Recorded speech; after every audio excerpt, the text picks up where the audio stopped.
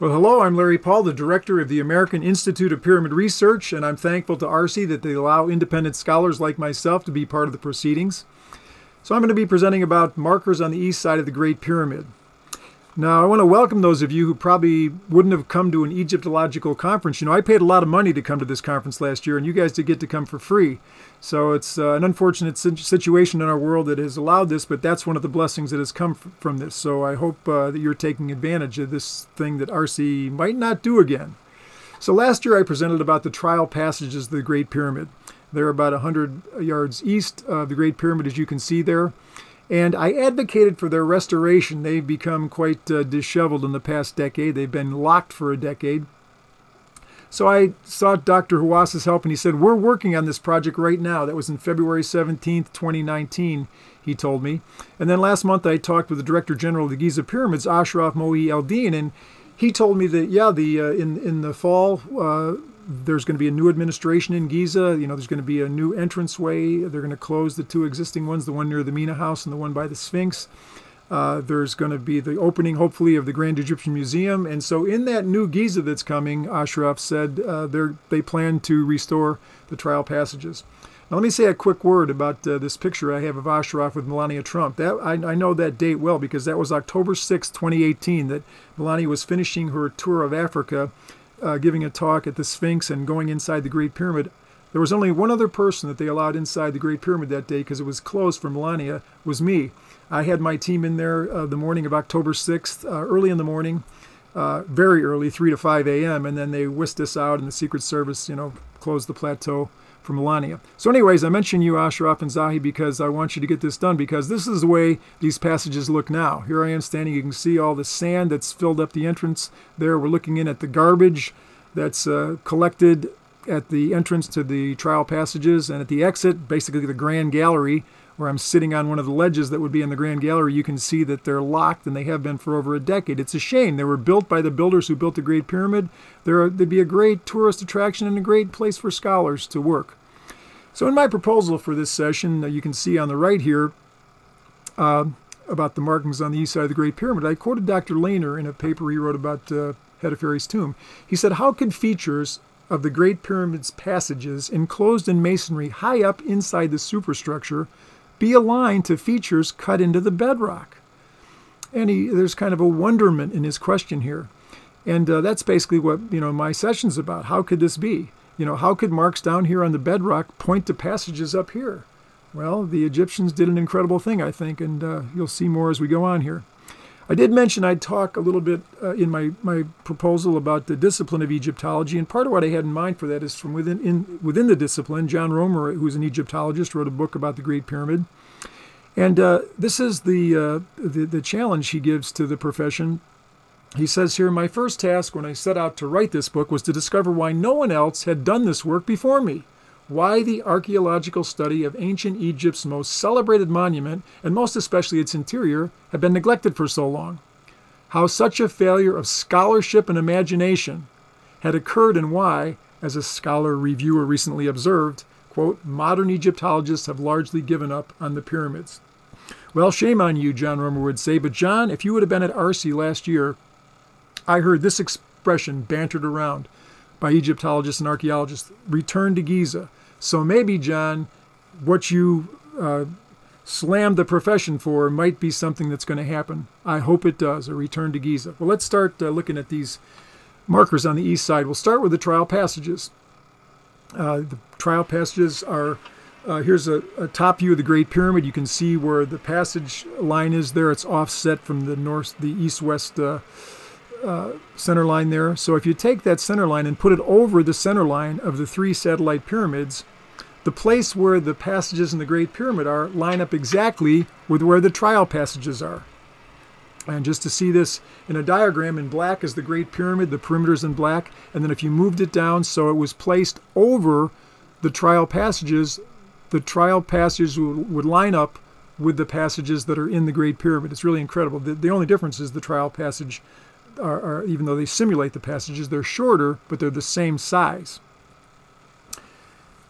So the trial passages and the relationship they bear to the interior structure we just saw seem to act like they're a, a key, like to a map.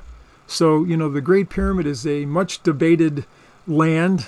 You know how many different things are said about it. And so it would be nice to have a key. The trial passages, I think, act as one of the keys to the Great Pyramid, just as any map has a key. Okay, the second set of markers, uh, the third trial passage. This trench here is called the third trial passage. The entrance to the trial passages is there.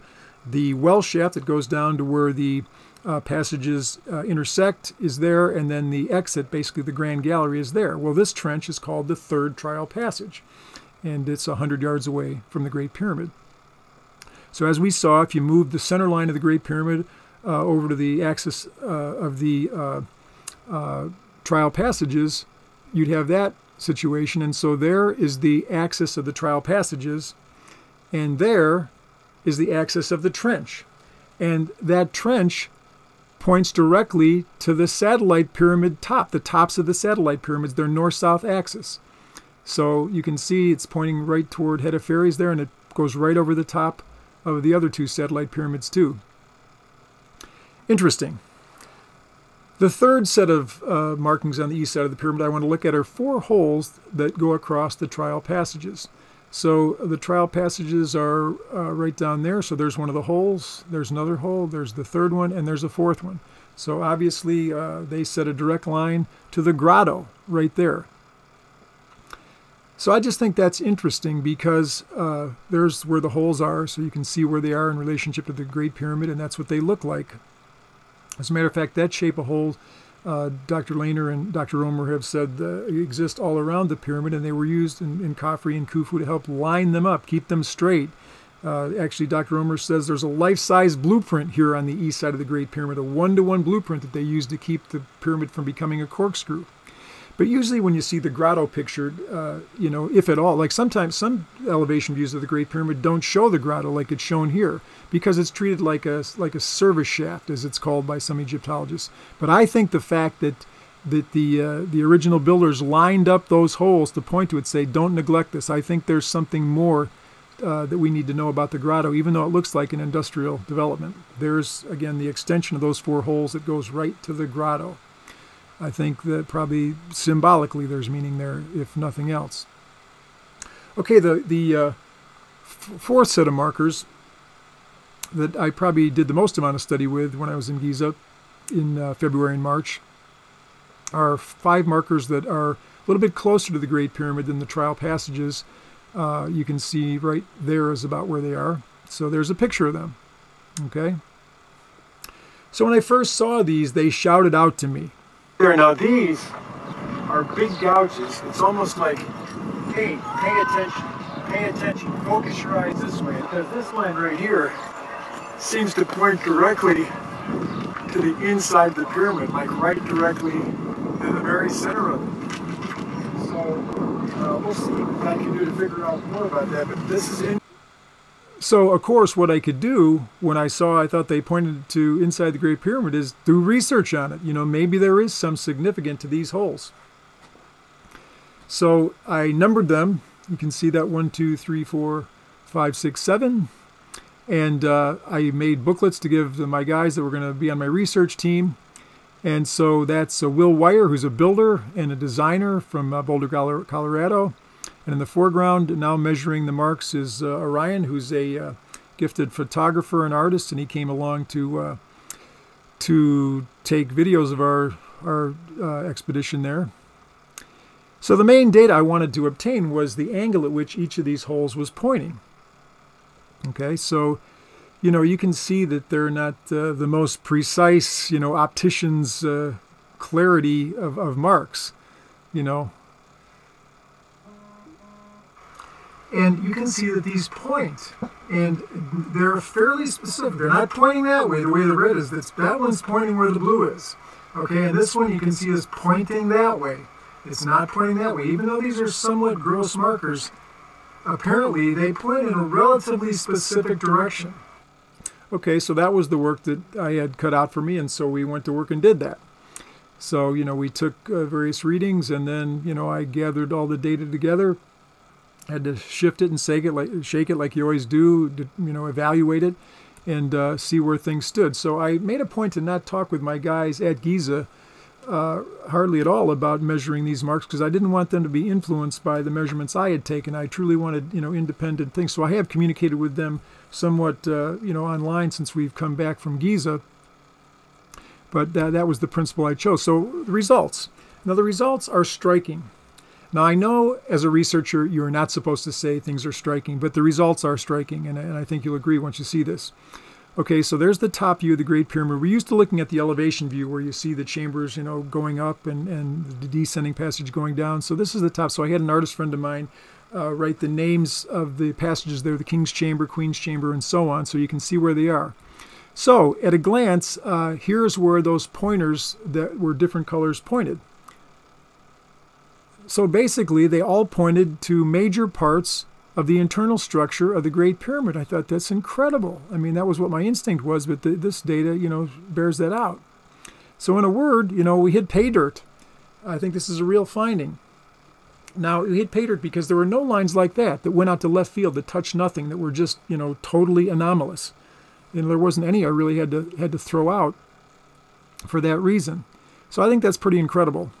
So I think uh, that these these uh, markings, unlike the markings that are just meant to keep the pyramid in line and that the builders could use as, a, you know, the way a mason uses a, a string line to, to keep a course straight.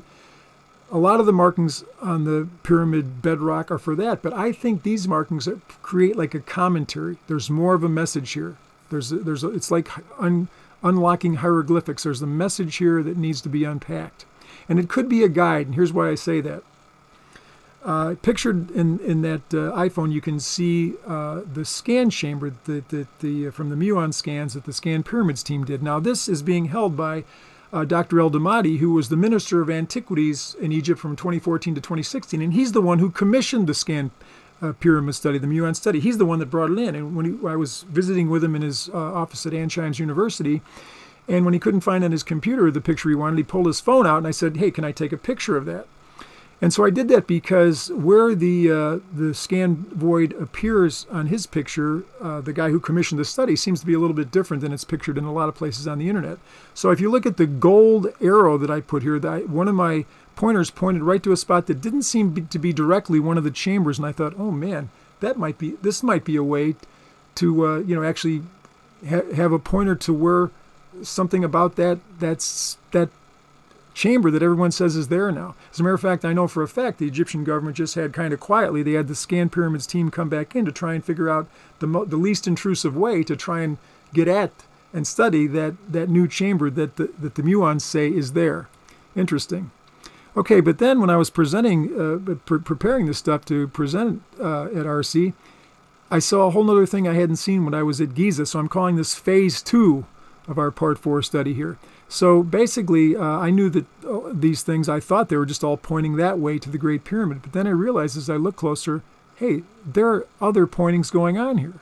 So once I plugged that in, that led to some amazing results. So here's the, again the, the phase one results, but let me just share with you a couple of the phase two results here. So this is uh, the markers from um, pointers from mark number one. So the two arrows that go into the the chambers there, one of them points directly to the middle of the Great Pyramid, to the exact center, and the other one points uh, to the Queen's Chamber. And uh, that was because there was a little bit of a difference in our measurements, so I just put those both there. But the other one is the, the phase two mark. It goes right to the corner of the Great Pyramid. I felt like that was some kind of affirmation when it first happened, but it kept happening. When I took the uh, marker number two, okay, that goes to the end of the dead end passage, the farthest you know, south you can go in the Great Pyramid, as far as we know, in terms of the, the passageway there. It's that, that narrow dead end passage at the bottom of the subterranean chamber. Interesting that it points there. And then the other pointer, the new one that I found from phase two, points exactly to that corner. And then it happens again. Here's the three pointers from Mark 4. Now, one of them points to the very end, the extremity of the king's chamber, but there's one that goes off to the corner again, as if to say you're on the right track. You know, there's some kind of language here. There's something going on, and that's the one that I think might go to the scan pyramids. There, the uh, uh, the other uh, mark, mark, that was in there because there was actually three pointers from mark number four. So I think uh, that's that's just I've just scratched the surface there, and I plan to keep studying that, and I will publish about that. Okay, um, fifth set of markers. on the east side of the Giza Plateau. I should say that uh, the middle of the picture you see there is where the uh, south air shaft from the King's Chamber exits the Great Pyramid. Can you see it there? Okay, so there's a top view of the Great Pyramid. So I'm checking these markers. So I took the boat pits and oh man, it landed right on a corner there. I thought that's interesting. Wow, look at that. So I got Bob Crielly, who's an engineer that works with AIP, and he showed me that it was exactly the same distance from the top of the Great Pyramid as the notch. The notch is a key you know, feature of the pyramid. It seems like it might have been part of the original construction to be like an observation post or something. And so basically a template was formed by that. You've got, you know, uh, the the notch. Now we're the north is to the right here, and then here's the uh, the corner that I found through the boat pointers there, and then this is the spot where you know the the uh, air shaft exits the King's Chamber in, in, the south there. So I thought that's incredible. This there is a template here. So uh, Bob realized, my engineer friend, that this template was the same size as the base of the Menkara pyramid and one-fourth that of Khafre. Oh my goodness. So we were just getting so excited about this. We were in constant communication, testing, aligning, seeking better maps, you know, because you need a straight-on satellite view to, to avoid distortion and stuff. So just a couple preliminary findings here. So I went to uh, last month to the, the tomb of Hemiunu, the architect of the Great Pyramid, G4000. And, and the main reason I went there is because Manu uh, Seyfzadeh uh, published this academic article, Hemiunu used numerically tagged surface ratios to mark ceilings inside the Great Pyramid. He shows that uh, Hemiunu built his tomb different than those other tombs in the West Field there. It's the second largest tomb in the West Field. And he shows that Hemiunu made architectural indications about the Great Pyramid, and they might even help us find the hidden spaces there. So this, you know, this I thought, you know, this architect Hemiunu, what a sharp guy. So I thought maybe he, if that template I found is really there, let's check it out. And look at this. If you take the template that you see over the top of the Great Pyramid, I simply took the, the top line on the north side there and extended it west, and then the center of the Great Pyramid right through the top, and I took that west, and look at that, that rectangle there, that's the tomb of Hemiunu. It seems to me that this template we found is one that the architect meant to be there. Incredible. And so uh, you know, here's a, just a quick sketch I did today. I just made a checkerboard from it, and you can see that uh, it goes just following the checkerboard from that template. It goes right over the top of Khafre, and it's one half. It's like Menkara's right in the exact center in between two of the checkerboard squares there. And then you can see where Hemiunu's tomb is uh, up top there. So to me, uh, this template is a key to the Giza Plateau, and, and I'll even say my friend Bob Crielly, my, my engineer that works with the, the American Institute of Pyramid Research, has extended it out to Alexandria and Port Said, Israel, and other places, and shows that this template, if you extend it like a thousand times, it's still there. Somehow the Egyptians might have used this to actually measure not just Giza but the world. That's a that's an outlandish claim, I know, but we'll we'll be publishing more about that. Okay, well, I hope I've whetted your appetite for things about these uh, fantastic markers where we're going to continue our research this on this and many other things. So uh, let's return to Giza. You know, there's a lot to learn here. Okay, looking forward to questions. And feel free to contact with me because this is going to be just a, such a short time we have that, uh, you know, if there are questions, they can be answered through email and phone calls and everything else. So again, thanks for coming.